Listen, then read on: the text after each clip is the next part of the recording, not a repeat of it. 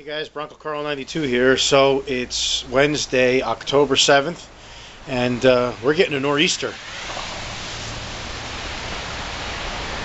So it's about 7 o'clock, I guess, because Jeopardy just came on. And uh, you can see we got a pretty good amount of snow already. There's the uh, arborvitaes.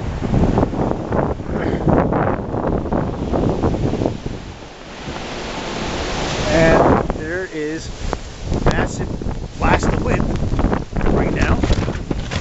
See, just took the garbage cans over. so, uh, we're expecting the power to go out tonight. So the generator is up where it's supposed to be, and it's uh, chained down in case some unsavories decide they want it. Uh, it's full of gas.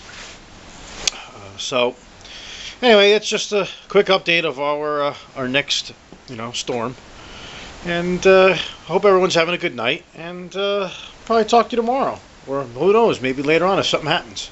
See you guys.